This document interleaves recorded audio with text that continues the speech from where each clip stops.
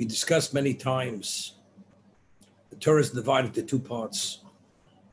You have positive commandments, we have negative commandments. Positive commandments are do commandments, to do. Negative commandments are refrain. Don't do, refrain, withhold, do not cross those lines. Transgression is over transgression, that's a negative commandment. To, so therefore, you must refrain not to violate the negative commandment. Every positive commandment is whether it's putting on tzitzis, tefillin, observing the Shabbos, saying the Kiddush, eating matzah, the Seder, sitting in the Sukkah, taking the four species. These are all positive commandments. It's do. A human being possesses, every one of us, a certain inertia. To get yourself moving, you need motivation. We're pretty much fixed in where we want to be fixed. To be able to extricate ourselves from where we are to go to another place, you have to have a sufficient incentive. That's the whole value of incentives. A person would only go to work if it's worth working. Otherwise, who's going to spend eight hours a day at the office if you have a choice not to go to the office? It's only because it's not just to be productive, because there's earnings. And a person has certain needs. So those needs forces a person to become productive. But if he wouldn't have the incentive to be productive, he wouldn't be productive because there's a natural inertia in every one of us. So to do, you need an impetus to do. What is the greatest impetus to do? What is the motivating factor which causes a person to move, to grow, to advance? Love. Avo. You love something, you want something, whether it's love, which is contingent on something because you're going to be a beneficiary, or it's love, which is not contingent on anything, which is the ultimate love, because you appreciate the value of whatever you want to be associated with it. With that love will motivate you to be able to achieve or attempt to achieve what you want to achieve. So Ava, which is the Hebrew word for Ava, is the all necessary ingredient for growth, for spiritual growth, for any growth. You want to make something of yourself? You go and you apply yourself. You have you want to get a better grade to be able to have a better average to enter into a better university, to get a better degree. So the positions that'll be offered to you will be have greater value, more prestigious, whether it's ego driven, whether it's financial driven, whatever it's driven. But that's what drives you is because you want something. Nobody loves anybody more than he loves himself. So whatever will accommodate our needs, our wants, our desires, that drives us. And that always gets us over the hump. positive commandments in the Torah. To put on tefillin, to say Shema in its proper time, to articulate the words, to fulfill the obligation of Shema, those words have to be said as prescribed by the Torah, and they have to be pronounced correctly.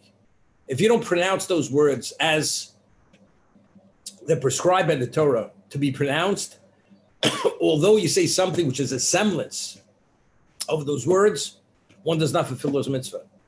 It takes a certain degree of effort, of focus, of articulation, of meticulousness to be able to do things which are right. So it has to be sufficiently valuable to the person to do it right. Otherwise, people do it in a very haphazard, sloppy way. There's an expression in the just in the vernac- it's a sloppy job. Half baked, not sufficiently researched. You just want to get it over with. But if a person truly has an interest in knowing and want to put out a first quality product, he will do his research and make sure to even consult on it to make sure it's it is what it should be.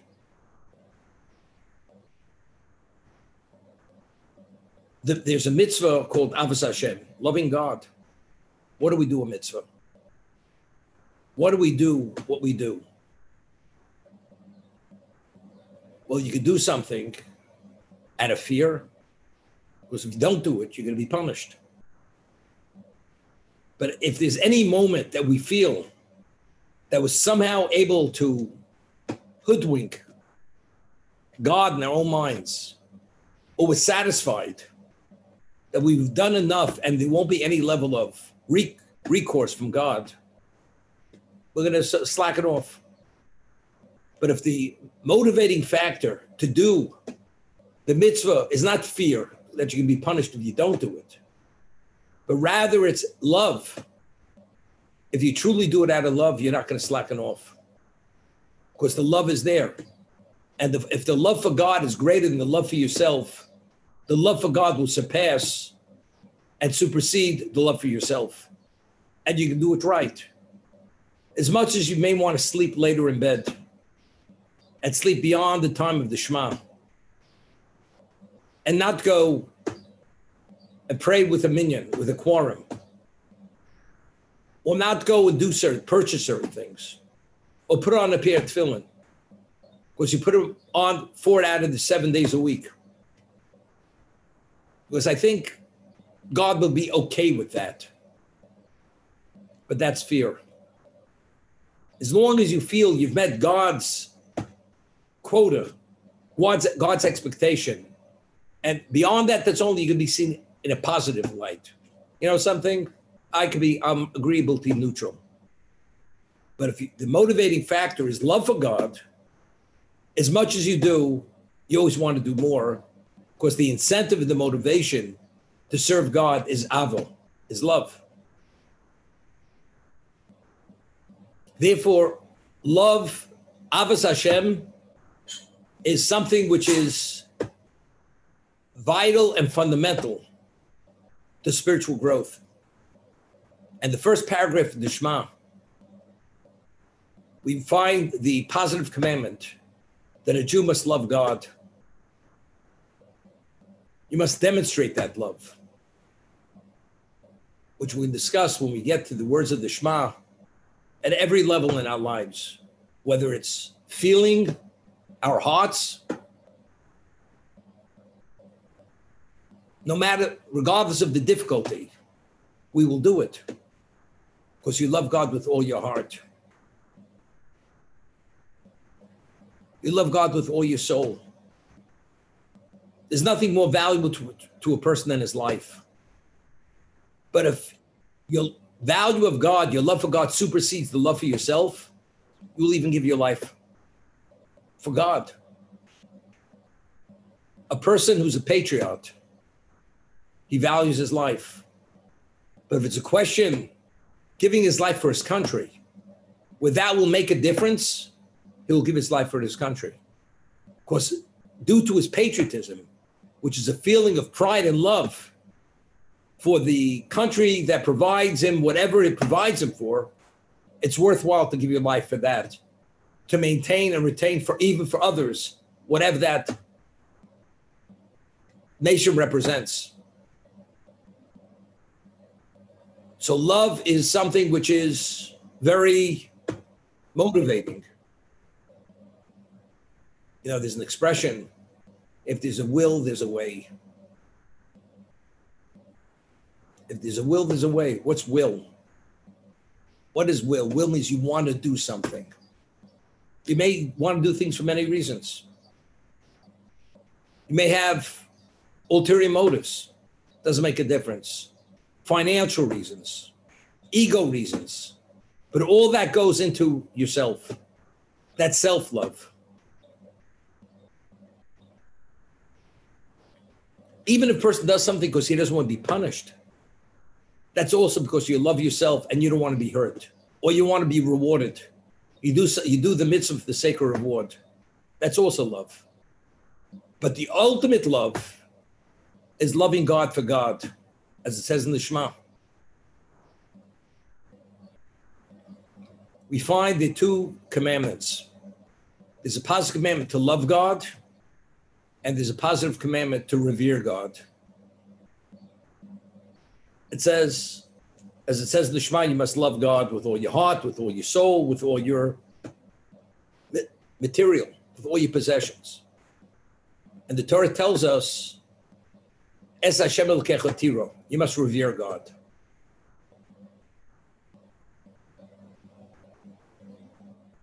Both positive commandments. Which is a greater level? Loving God or revering God? Which level is a more advanced level? So the commentators explain that loving God is a greater level than fearing God. Because as I said, fear is refrain. Reverence is I wouldn't dare do that because I understand whose word I'm violating. So that causes refrain. However, to be motivated to do, then you need the love factor. That's the motivating.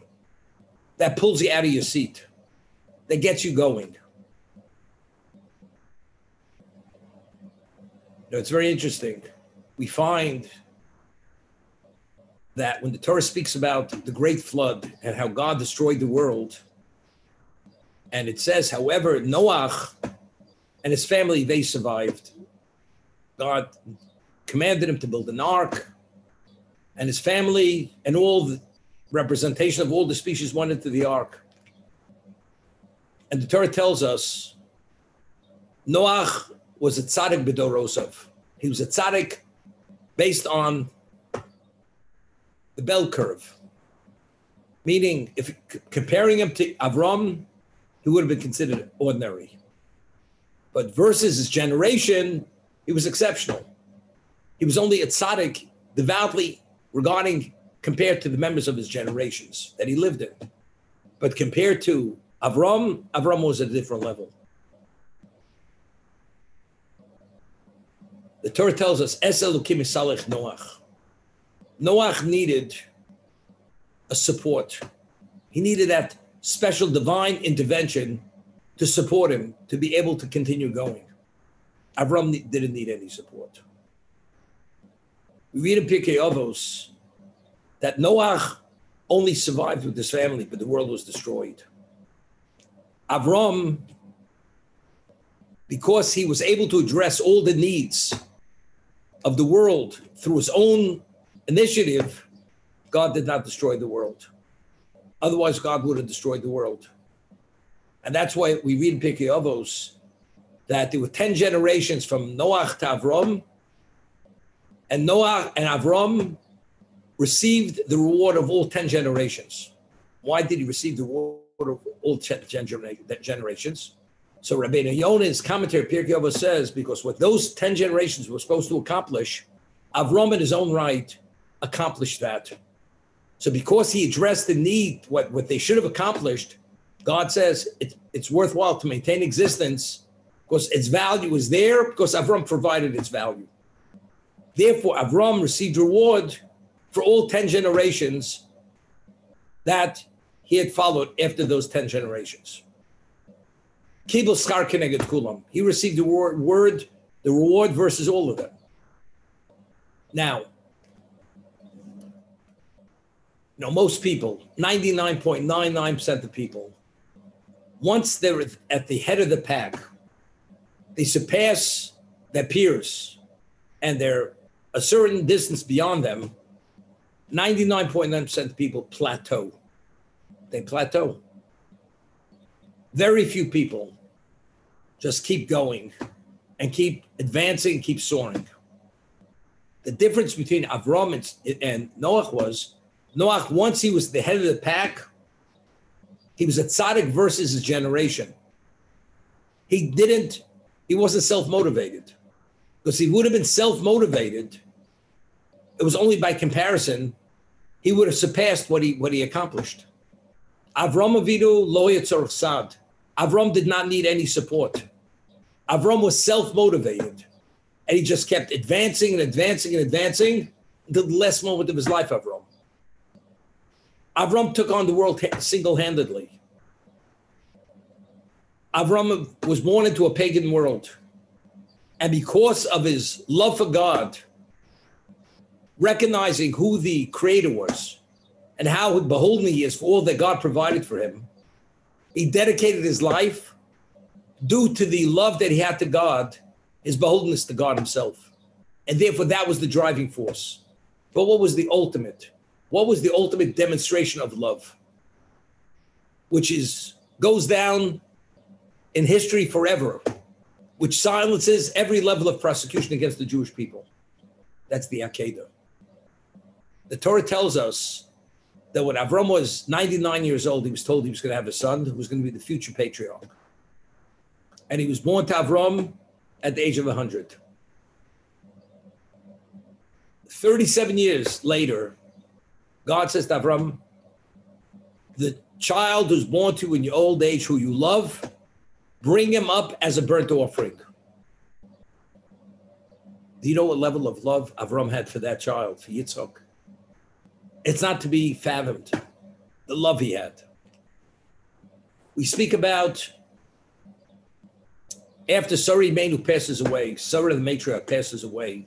It says, Avram was advanced in years, and Hashem blessed Avram Bakol with everything. He had everything. He had wealth, he had renown, he had fame, and he had a son. Hashem Berach as Avram Bakol. Bakol, the word Bakol with everything, is numerically Ben. Bakol is the is the gematria, the numeric value of a son.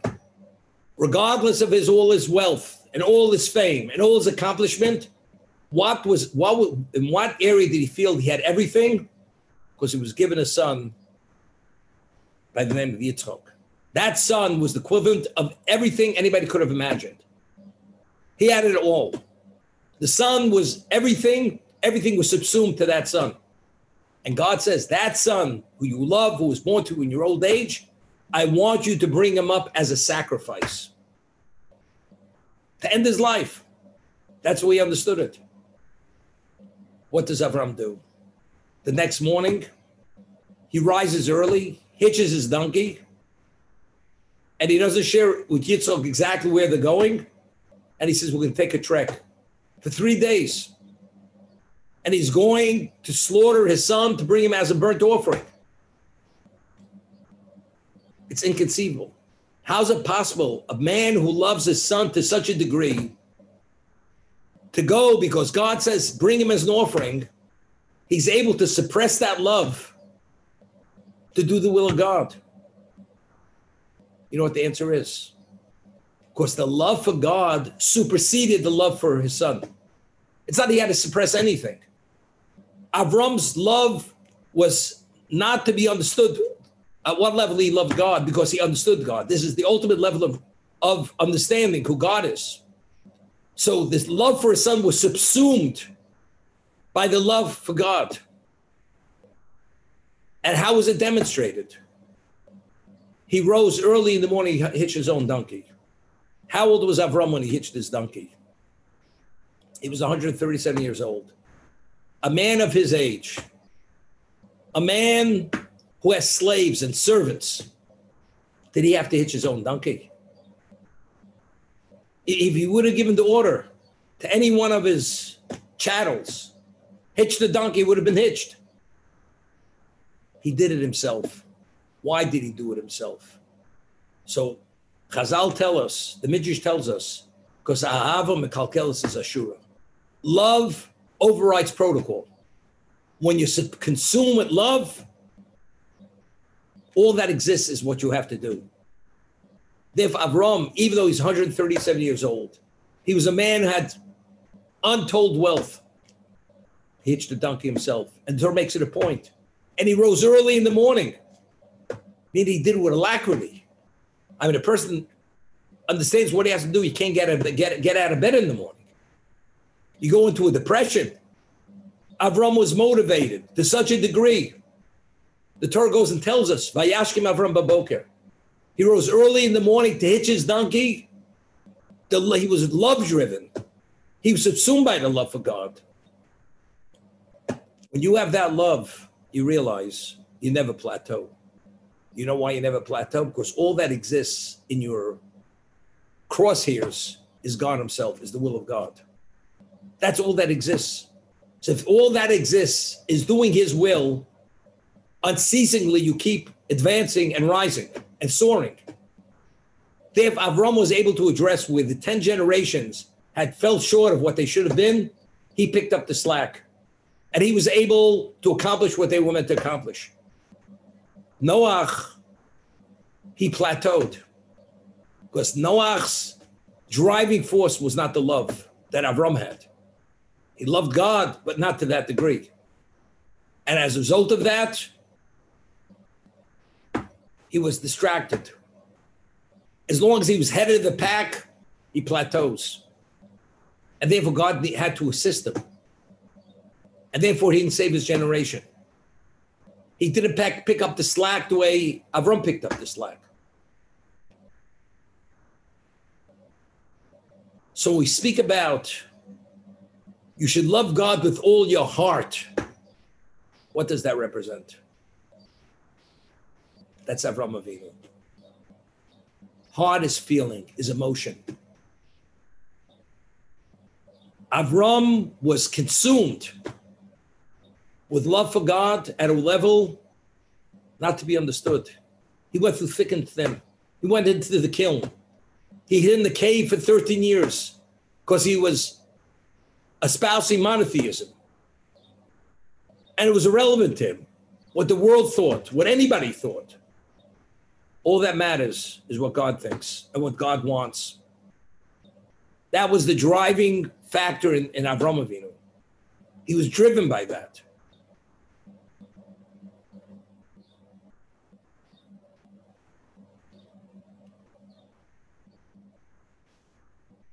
You know, I always mention Chazal tell us that the aspiration of every Jew has to be Mosai Yagir Masay Lamasa Avram Yitzchak Yaakov. When are my accomplishments are going to be achieve the level of Avram Yitzchak and Yaakov, our patriarchs? That has to be the aspiration and the goal of every Jew. So they ask a question. I've mentioned this in the past. And if you'd say, when will my accomplishment be as great as Hillel the elder? That wouldn't be enough. Why the patriarchs, Avram, Yitzchak, and Yaakov? So the answer they give is because, you know, if you shoot for the stars, you go a lot further than if you shoot for, for a lesser goal. So who's the ultimate? The patriarchs when will my achievements be as great as them? So even though I'm not able to achieve it, but since the goal is a greater level of accomplishment, even if you fall short, the level of accomplishment will be greater. So I explained it differently. The DNA in every one of us is the DNA of Avram, Yitzchak, and Yaakov. If Avram had the capacity to love God as he loved God, because that was part of his spiritual makeup. And we are their spiritual spiritual heirs. Every one of us has a semblance of that capacity to love God within our own within our own capacity. Whether it's Avram, what he was, what Yitzchak was, or what Yaakov was. In every one of their areas of accomplishment, we have relevance to that area of accomplishment. Because our DNA is there was their DNA. Therefore, to say we should be like Hillel, Hillel's not our DNA because he's not the founding patriarch of the Jewish people. But the founding patriarchs of the Jewish people, which is the foundation of every Jew, original Jew who's part of that pedigree, his pedigree is made up of the DNA of Avram and Yaakov. So if Avram Avinu had this level of love with all his heart, it's not he suppressed his love for his son for God. But his love for God was so overwhelming and enormous, that love subsumed the love for his son. And therefore he behaved as he behaved. He rose early, although he knew he was going to slaughter his son as a, as a sacrifice. Although he knew he was going, he hitched his own donkey. Of course, all that mattered was to do the will of God. And just kept going. And he was driven by this. Each one of us, so when God says you must love God with all your heart, doesn't mean say we're going to be an Avram. But we have a semblance, we have relevance to that level. Because we descend from him, therefore we have that level of semblance to love God in a similar vein within our own capacity. That's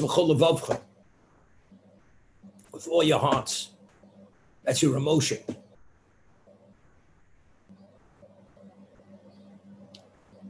There's a question which is asked. We read about in the book of Dvarim, there's a chapter about the errant son, the rebellious son, a boy, he's 13 years old, just bar mitzvah, and he steals from his parents and he buys meat and cheap wine. And he eats the meat, drinks the wine, and he becomes, and the parents become aware of this, and they take him to the court. And they say, Our child is a rebellious, errant child. He stole from us and he purchased meat and wine. So the court realizes this is just his entry point as a person of obligation. He's 13 years old. The court tells parents and it tells the child, you realize if you continue on this path, you're going to create an addiction. And ultimately, if that addiction is not nipped in the bud, you're going to become an addict and you're going to have to support a habit of eating and drinking the wine and the meat. And eventually, you're going to become a highwayman. And eventually, if you can't support your habit, honestly, you will steal and even kill. Because the addiction is going to grow to a point, it's going to be out of control. And let's say, and they give, they flog the, they flog the son, they give him lashes. And then he becomes a repeated offender. And the only way he can become this, take on this classification, the parents have to bring the child to court to the Beis Din. He becomes a repeated offender. Does it again. And they tell the child, if he becomes a repeated offender, they tell the parents, the son will be put to death. Why? Because since ultimately he's become a murderer, better he should be taken out now before he becomes a murderer rather than become this addict who's going to be addicted to such a point that he'll have to support his habit by committing murder. Okay? So the Talmud tells us that this situation never ever happened. It never happened and could never happen. Why? Because all the criteria that has to be met to establish this kind of situation is impossible to establish. The parents have to look alike, they have to have the same voice, they have to be the same height. It shows how why it's impossible. So the Gemara asks, the Talmud asks, so if it's something which is an impossibility, what Torah write it? There's a whole chapter speaking about this type of situation. This child, from the age of 13 to 13 and three months, if you do this, his parents bring him to the court, he's flogged, he gets, and then he's put to death, and so on. It's not relevant. What does the Torah tell? It speaks about things that have no relevance to anything. So the Gemara answers, the Talmud answers, to study the portion and be worthy of reward when you study the portion. That's the Gemara's answer. So it is it's, it's a quandary and it's difficult. I mean, if you want to receive reward for studying Torah, you know, you can say to Kriya er, outside of the time period when, when you're supposed to say it, you still you get credit. You're credited for studying Torah because it's verses in the Torah. What's unique about the rebellious child, about that particular portion. So Rabbeinu Bachya, who's an early commentator, a Torah explains that in the name of the Rajma, that whoever heard, the Torah tells us that if you have a child who steals from the parents and he buys meat and cheap wine, it's the beginning of an addiction. And if he does it a second time, it means it's going to be an addiction out of control and he's going to become a murderer. And the only way the child can be convicted, the parents have to bring the child to court. If somebody else brings the child to court, the child does not become this is not condemned and convicted as this type of child. Oh, parents have to do it. He'd say, whoever heard of such a thing? Parents bringing their own child to court knowing he's going to be put to death. The average person, how would he process this? Immaturity. It's okay sweep it under the rug. Because of their love for their child, they're going to delude themselves and they will not leave a stone unturned to put it in the most positive perception, even though it's not reality. They will go in a state of denial because of the love for the child, not to have the child put to death because they, he will only be put to death. They have to bring him to court. They have to bring him to the Beis Din. But the Torah says no. These parents do bring him to Beis Din. These two father mother do bring him. What does that say? It says that the love for God is greater than the love for their child. It's a semblance of the Akedah story because it's unheard of. How does a parent take his child to be put to death? You'll give every excuse to dismiss it for someone attributed to something else other than this. But these parents are able to because they accept God's word as reality because their love for God and the love for God supersedes the love for their own son. So the person who can carry through with this, he's actually fulfilling the challenge of the Akedah. Just as Avram's love subsumed the love for his child, as much as he loved his child, and he was the future of existence, when God says bring him as a burnt offering, he rose early, hitched his own donkey, was motivated, did it with alacrity, with zeal to bring his son as that sacrifice.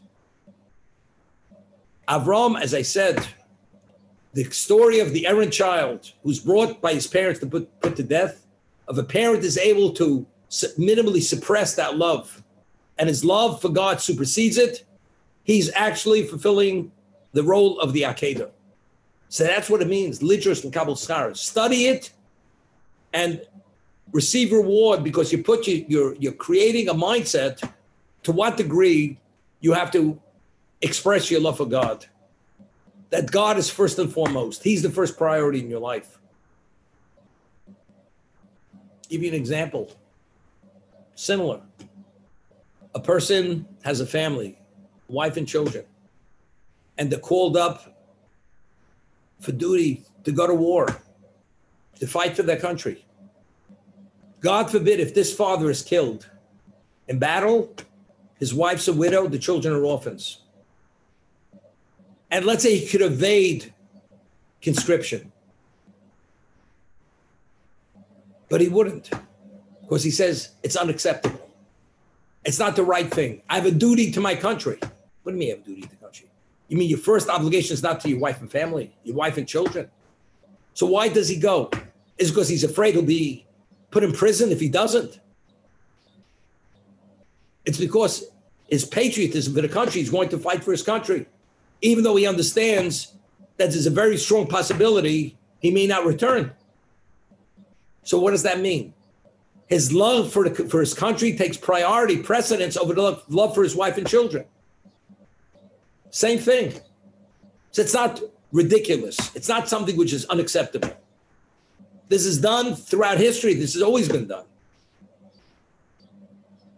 And that's what God expects. And that's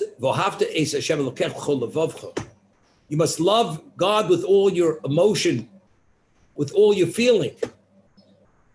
That the love is at this exceptional level. And that's Avram Avinu. And because Avram Avinu had that level of love and he had that capacity, we have a semblance of that to be able to achieve something similar to that. And therefore, what is the aspiration of every Jew? When will my achievements be able to touch upon the achievements of the holy patriarch, Avram Yitzchak Yaakov? As Avram was able to display this level of love, which subsumed love for anything but God, we have relevance to that. I'm not saying it does not be developed, but in the core of our being, it's part of our ultimate potential to be able to achieve this.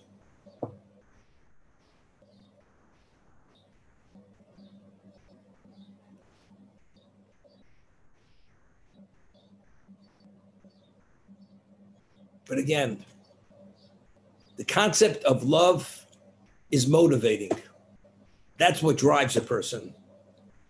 Fear causes, represents, it's not refrain.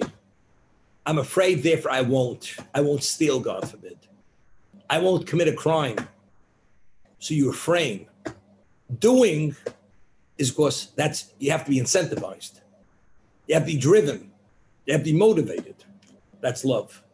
So I say, is positive is love. Negative is what is reverence, fear.